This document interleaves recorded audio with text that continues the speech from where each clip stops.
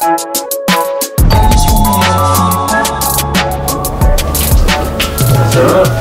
have you heard about the $200 Ruth's Chris Steakhouse gift card we're giving away for Valentine's Day? Yeah, dude, two hundred dollars. That's gonna be huge, man. For Valentine's Day, that's gonna be awesome. I hope somebody high quote wins. Dude, me too. Hey, speaking of Valentine's Day, ain't you got you a hot date tonight?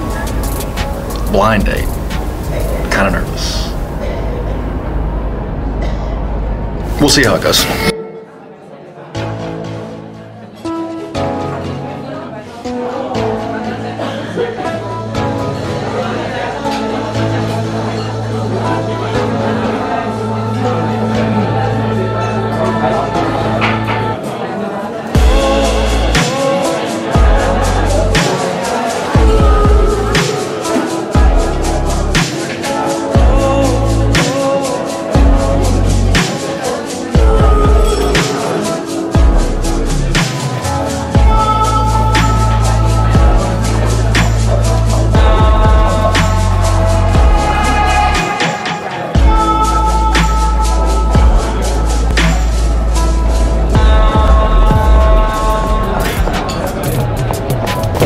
Jay, why are you still here, man? You're gonna be late for your date.